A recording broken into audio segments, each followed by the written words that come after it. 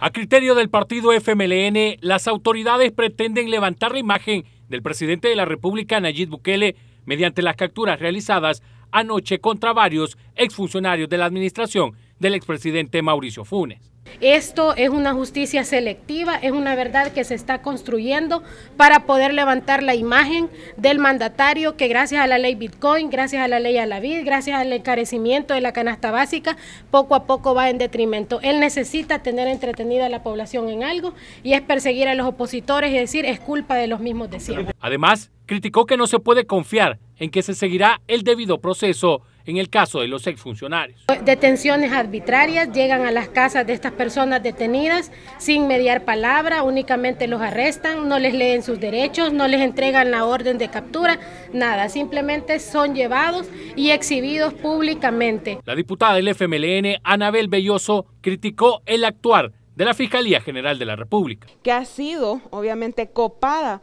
bajo los intereses de Bukele, de su grupo y en este caso también de sus diputados y diputadas, que han sido cómplices en el caso de la imposición de funcionarios como el fiscal general, en quien no tenemos ni la mínima confianza en que va a desarrollar un proceso imparcial que se va a ceñir a lo que la legislación dice en cuanto a este tipo de procedimientos y que va a dar las garantías mínimas a las personas que el día de ayer, como lo digo, fueron capturadas en un esquema totalmente irregular fuera de la ley. La legisladora detalló que el actual gobierno no puede darse baños de pureza debido a que se siguen utilizando los gastos reservados de Casa Presidencial alimentando de presupuesto y todavía haciendo refuerzos presupuestarios a instancias que hacen uso de este mecanismo, como es el caso del organismo de inteligencia de Estado, y eso está vigente también en el actual gobierno. Y también llama poderosamente la atención y hace pensar, obviamente, que esto es un tema dirigido en contra de aquellos que resultan incómodos, porque personajes que claramente también han sido señalados, no solo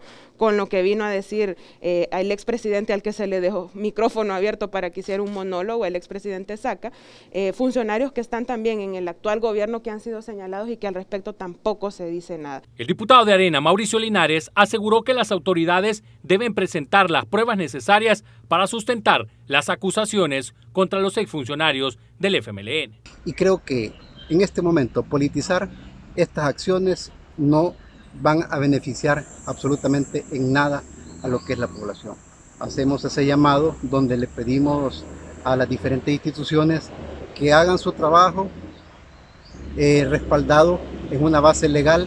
y que no lo hagan en una forma ya politizada o que se incline en una forma parcial hacia, hacia cierto grupo. Sin embargo, el congresista de Ghana, Romeo Auerbach, considera que la investigación de la Fiscalía está bien sustentada estamos en el camino correcto, que se están haciendo capturas en base a, ya van a tener ustedes acceso a eso, no sé si ya lo tuvieron, recibos originales firmados por ellos de cantidades eh, grandes de, dinero adicional al salario de ellos, del cual no era una manera legal de pagarles y aparte de que no era una manera legal de pagarles, eh, ni siquiera tuvieron pues la,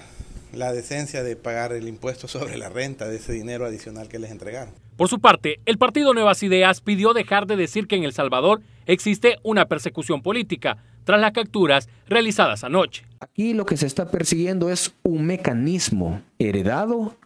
y adecuado a cada gobierno para poder recibir, como ellos dicen, ¿verdad? nivelaciones salariales o complementos. Entonces, esta reflexión va en ese sentido de que si realmente queremos cambiar nuestra nación, debemos de verdad pegarnos a la justicia y creer de verdad en una justicia real que por fin está llegando a nuestra nación, no aquella justicia que se compraba. Los diputados de oposición esperan que este tipo de acciones no sean el inicio de una cacería de todos los críticos del Ejecutivo. Alexis Juárez, Mega Noticias 19.